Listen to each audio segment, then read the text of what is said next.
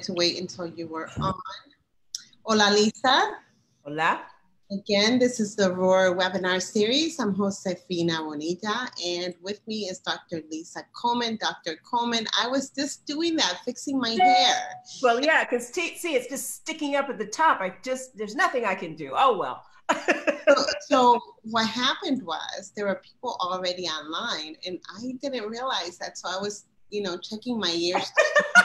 locked. Oh, yeah, I can tell mine's a little floppy, so I was trying to make it work, but oh well, you know, there's nothing I can do now. um, so I thought today we can talk a little bit about. you know, now it's flopping in my in my face. Okay. we can talk a little bit about leadership.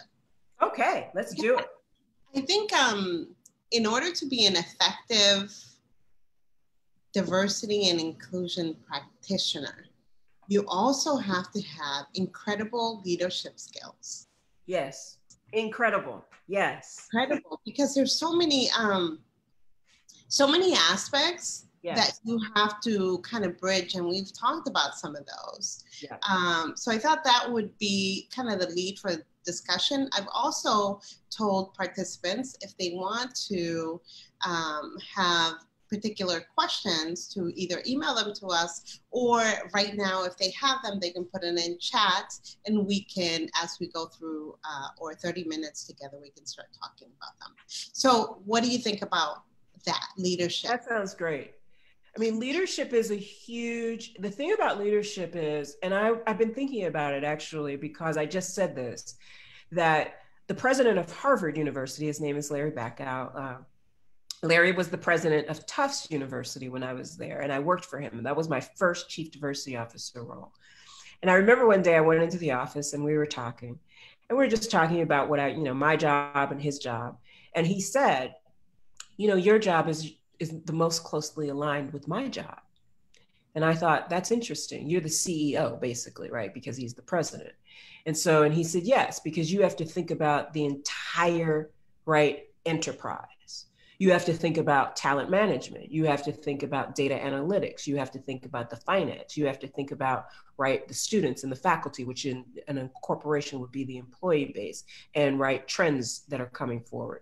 You have to think about the external relationships right and then the fiscal relationships to those external relationships.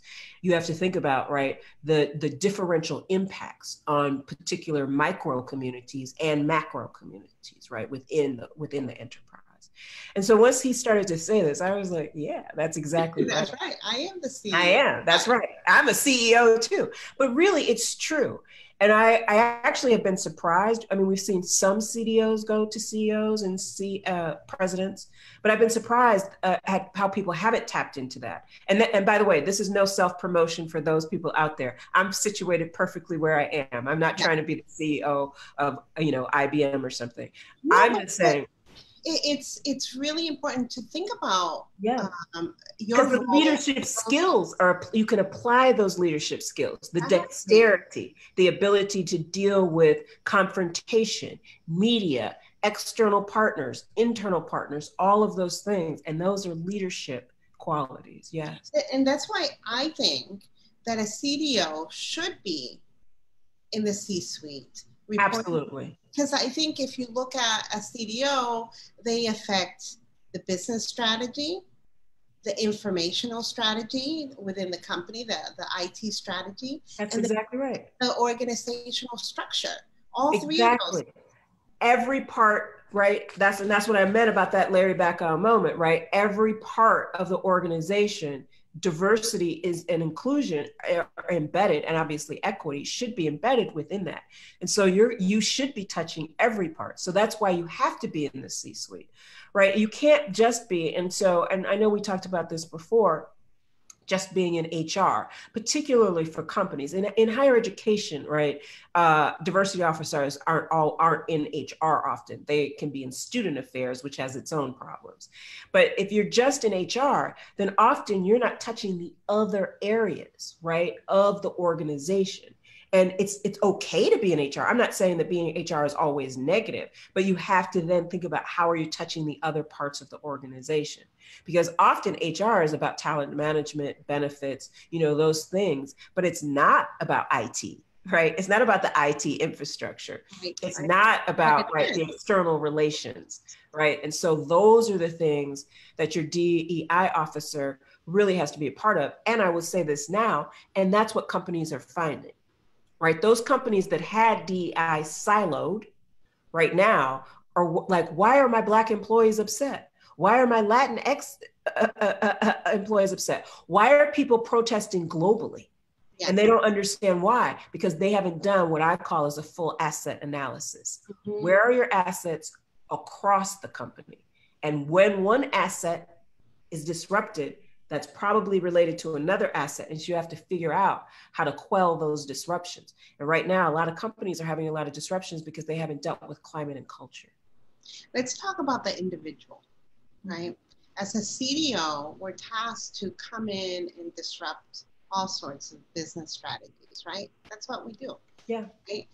but um, there's not a lot of support yeah. for us right? So um, in addition to having a network of folks that you can tap into, there's these other things that I think as a CDO you have to go through and be able to deal with, like um, um, what's uh, self-imposed barriers. Oh, you yes. not think that you should be in that C-suite, or you know you should be, but you don't know how to have that discussion. You know, yes. you kind of just got this job, right? So right. that's one, and then I'll let you uh, kind of elaborate on, on these two. And the second one is um, what's that uh, imposter syndrome? My God, what am I doing here? Yeah. Right? And those are two key components that a lot of CDOs have to deal with in addition to perseverance and all these other exactly right and we can talk about that yeah for sure oh, Josefina, and the, the barriers that are self-imposed, often, sometimes what's happening is we're getting signals from the company. So we begin to impose those barriers on ourselves because we're getting signals that the way we're pressing the company doesn't like. So this is what I like to say. I always say, so when I'm delivering a lecture about diversity, equity, and inclusion, I like to set the standards or set the bar. So what I say inside my organization, even within NYU, I say 15% of you don't like me and you will never like me. Sometimes it's 20%. And people are always shocked when I say that. And then I say, I know that I'm doing my job when 15 to 20% of you are pushing against me. It can't be the same 15 or 20% in perpetuity, right? Maybe 5% is the same, but 15 to 20%. Now, if 80 to 80, right, to 85% of people don't like me, then we have a problem. Then I, I have to find, right, I got to get, find myself another job. But if that's the case, then what I need to be communicating with my CEO is yes, I'm pushing the right envelopes because I'm moving, right? There is going to be, and I think that's what we have to educate when we're talking about educating up, right? A lot of CE, CDOs have to educate up our CEOs. And so what we have to educate about is yes, people are not going to like us, right? We are going to agitate. That's why we, how we've been brought in. And I, in higher education, I use it like this we always have a student protest. The student protest, people think is bad. I always think it's good because we're going to learn something. No, right? I like it. We're going to learn something and move ahead. So, those self imposed barriers, what I say is figure out for yourself, right, where the resistance is and how you can, right, navigate that resistance. But always remember 15%. And so that way it helps free you up, right, that you can't, not everybody's going to like you and not as a CDO. So, if you're someone who needs everybody to like you, get out of this business. Get another, and there are lots of jobs. Do something else. Okay, imposter syndrome. Everybody has imposter syndrome. The one thing I learned working at Harvard is that everyone has imposter syndrome. So I'm just going to tell you a quick story. First day, first second day at Harvard, guy walks in, white guy, British accent, and he's like, "I'm just so glad you're here." It's just so hard. And I'm like, why is it so hard? He's talking, talking, talking. He's like, diversity, it's just so important. And I'm like, is it? And so going on and on and on. Did you pick up the accent? I, I picked up the accent in the meantime. And so I was like, okay. And then I realized after he was talking to me for about a few more minutes is that he was Cockney. And so he had a Cockney accent. So, so, so, so, so, so.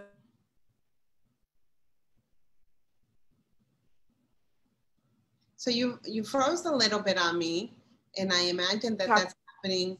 So can you repeat that? And again, it was super cool because it was like.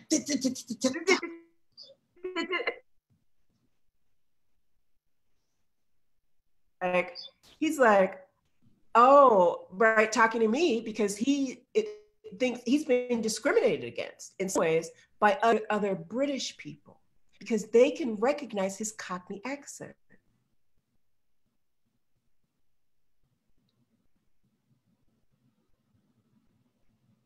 About feeling like an imposter. but we missed a little bit after the accent. I'm sorry, for some reason your your um it's freezing up a little bit, just a little bit. Oh, Fina, can you hear me? I can hear you. I can't see you that well, but there you go. So wait, Fina, I can't hear you. So I gotta call you now. can you hear me now? Oh my goodness, this is. Uh, yeah, I can hear you. Can you hear me? Yeah. Okay, super. I can hear you. Hear you. Okay. Yeah, for well, anyways, you know what? We'll keep going. Um, but I, I, uh, Ralph Tavares uh, says, "Oh no, I was hanging on every word." So it was a good story, Ralph. Right? Oh, well,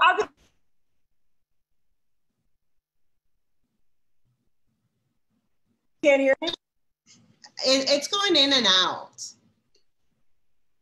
Okay, hold on. Let me call on the phone so you can you can. so he's also saying he suffers greatly from imposter syndrome. I think we all do, Ralph. Honestly, uh, for most of my career, I've wondered whether or not I was really supposed to be there. And somebody would actually say, Who are you? And what are you doing there?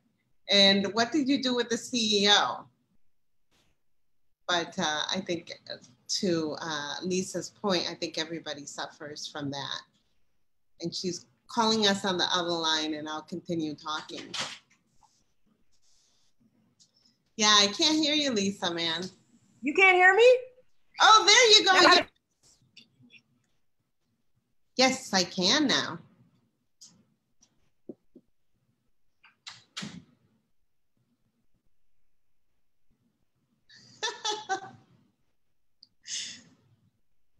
Oh, we got two Lisas going on. Let's see. I'm going to mute this other Lisa. Thank you guys for being patient as we uh, figure out this stuff. Lisa, I'm asking you to, um, there you go. Can you hear me? Yes. Can you hear me now? There you go. You yes. Yes, yes.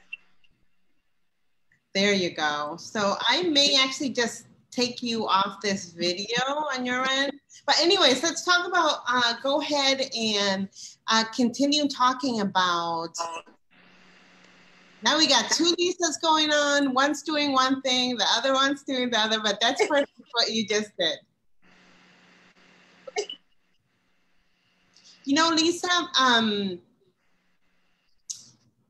can you, you can hear me? I can hear you just fine. Okay, super, super. So, um, what I was thinking that we, what I. Don't oh worry, I, I turn I'm turning that off so you can't hear you can't hear that anymore. Okay, good, super. So you know, um, Ralph mentioned that he suffers from really bad imposter syndrome, and I was saying that I too, for most of my career, had uh, felt like that. Even as I went to school, I'm thinking, who am I to be going to school? And, you know, are people going to actually get to know that I can't do the work? I thought that was funny. Obviously, Lisa did not. I thought it was really funny. so there we go. Good. Um, so you were talking about the guy and how he too suffered from that. Yes, and and imposter syndrome. I have to say, right? I know I'm. I've got some instability with my camera, so I'm going to turn that off for just a minute because you can still hear me. But the the thing is, is that the imposter syndrome. I was just saying, everyone has imposter syndrome. But the question is, right? Like as you're trying to navigate that, you have to figure out, right, where it's stemming from. And so when I was saying before about how people, you have to realize, you know, wh- who, you, how you're educating up and how, right, the, the people are holding that that what we say we have to come to work is our authentic selves. So how do you put your authentic self? How do you bring that authentic self? I think can be really difficult to ask to figure out. And a lot of that is testing the internal system. So again, when I said that 15%, right? Then you have to develop, and I've said this before, that internal posse. Because the other thing is, you need the internal people to be able to tell you periodically when you've gone astray, right? When you're going to tip into 30% of the people not liking you or something like that. That's what you need. You need those internal tests because otherwise, you'll just feel like, you don't feeling like an imposter is often feeling like you're not sure right? You're not sure if you're making the right steps. You're not sure if you're taking the right direction. And to figure that out often you have to right have an internal barometer. And there, there has to be, be a way to. Um, I know when I was doing sales for international sales for a company named Cargill, right before I went in to visit a client, I would put on a smile, even though I was scared to go in. So you have to figure out little things that can work for you that you can come across as the confident, uh, take charge person that maybe you're not feeling at that moment. And I say this all the time I'm an introvert, right? I'm a person who often is. I don't, I don't, I am, I often have felt like an imposter in my life and what and mostly because i'm not a person who's an extrovert. So i need um, i'm a typical academic in that way. I like to have lots of research lots of information but that's not always possible. So then i have to figure out for myself what is the information that i need to feel like i can go forward? And that's what i mean about figuring out what it is that you need in your own individual. That's what i meant about figuring out about the imposter syndrome for yourself. For each one of us, that goes back to the individual question.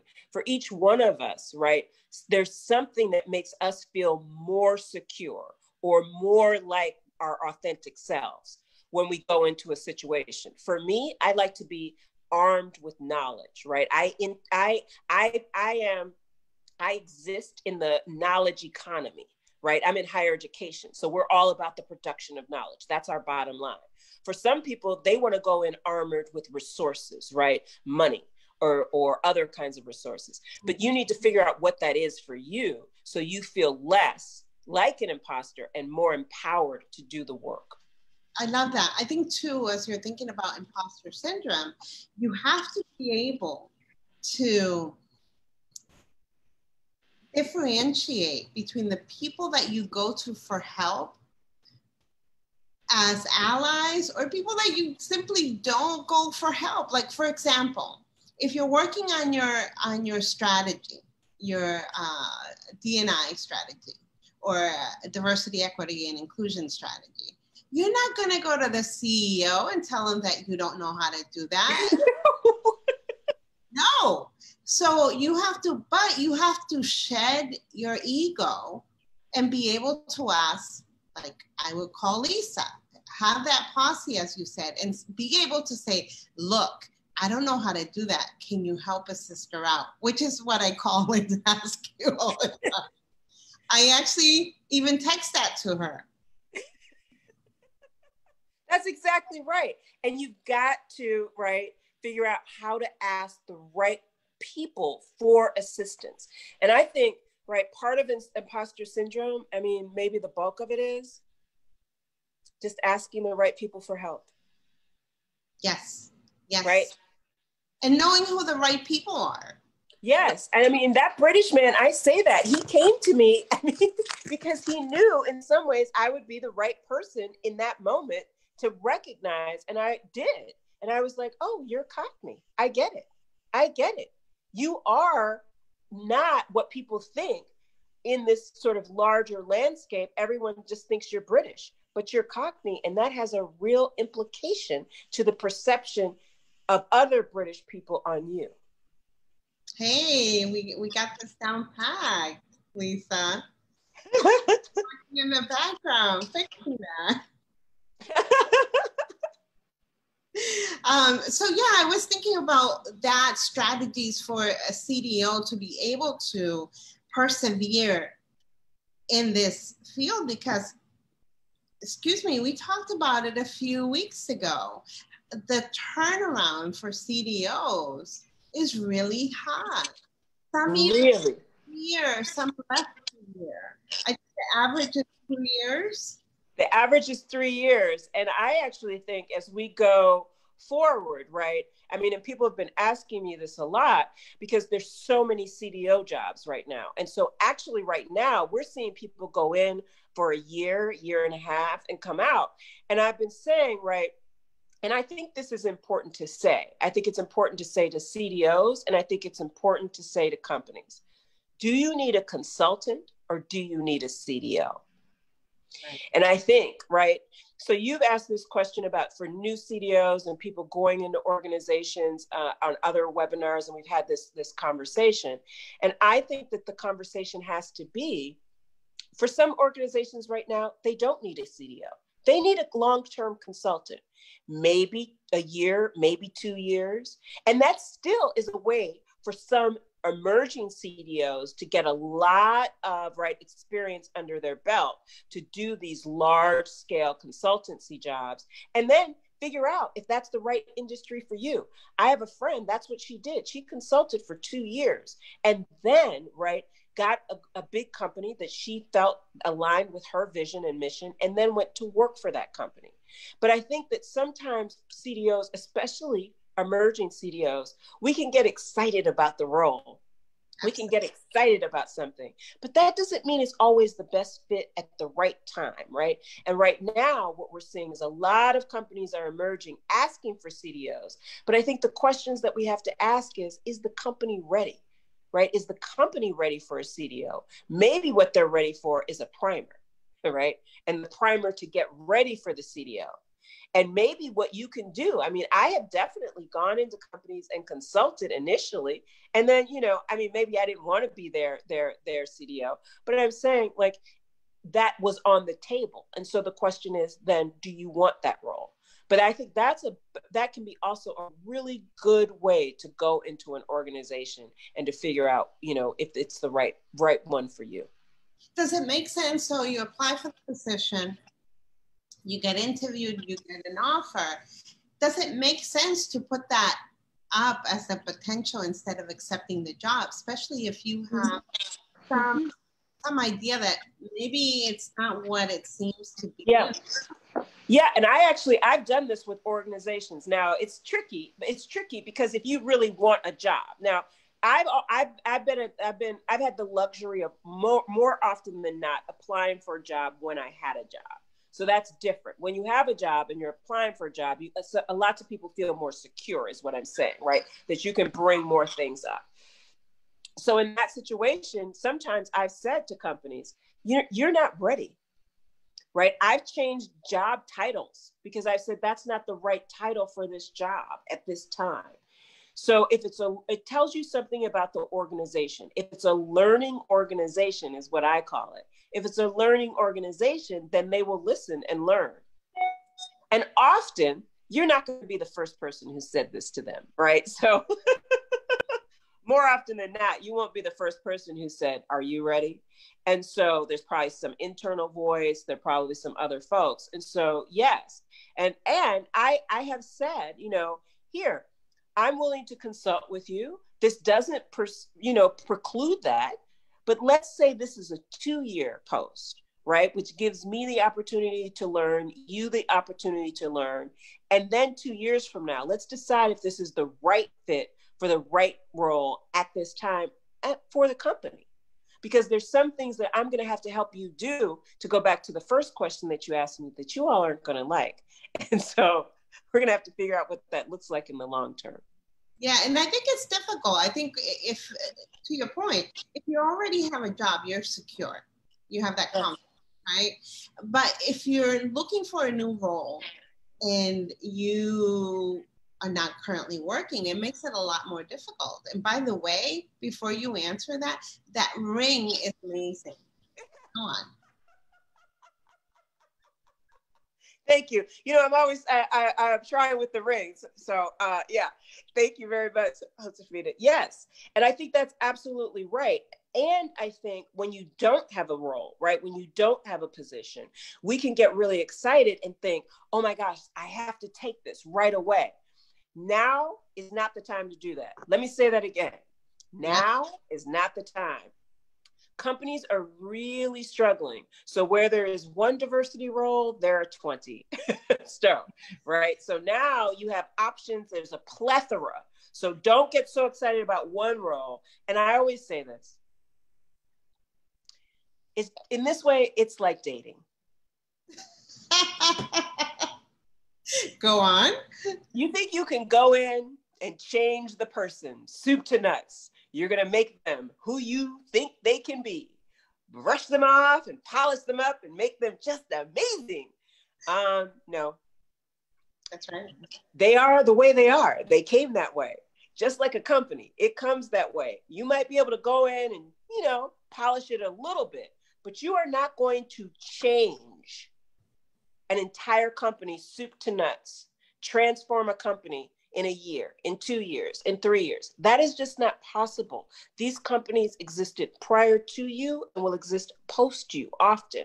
And so the question is how can you make incremental change? Just like when you're in a relationship, it's incremental and the person stays the same core. so, right? So we. I'm just saying, right? I mean, we've got to be like upfront about these things. And so, in that way, right? I think we have to think about incremental change, incremental transformation. And so as you're going into a company, right? It's just like new love. Don't get so excited that you're just blinded by that new love and you can't see anything else. You can't see the forest for the trees. You've got to pay attention, right? And be close. That's great advice. these changes and kind of as you relate them to a strategy, they're low hanging fruits that you can work on initially and things that are going to be more long term. And that's how you have to put it. So, um, to your point on dating, I, I really like that. that was- I'm just saying, right? Is there are things that are long term, like you said, things that are short term. But I do think that far too often we just get really excited. And and again, by the way, I'm not trying to quell people's excitement excitement is amazing and we need excitement to get us through. We need excitement about these new about companies. We need excitement about going in and transforming. But you have to be realistic. I, you do we also have to be realistic. And i'll say this about negotiation. I know we're going to run up against time. As you're negotiating negotiate everything up front Lisa. verbal verbal agreements. Oh yes Five years from now, I'm going to give you that promotion. Five years from now, I'm going to do that. It's all verbal. Yes, yes, we promise. Can you see me? No, no. Put a ring on it now. Put a ring on it, like a relationship. Get the ring. you need the tangible thing. Yes. As, as Beyonce said, put a ring on it. Right. That's right. So, Lisa, I think that that's a great discussion for next week. We yeah. should kind of earmark uh, next week to talk about negotiation. Let's absolutely do that. I'm looking forward to it. Thanks everybody for being here. Sorry about the technical difficulties. No, no worries. Uh, thank you, Lisa, for joining us for our webinar series. Uh, make sure to mark your calendars for October 15th for the Roar Virtual Conference 2.0. and our very own Lisa Coleman. Dr. Coleman is going to moderate the panel. So make sure you save the date. Talk Thank you. you. Have a great day, everyone. Bye. Bye.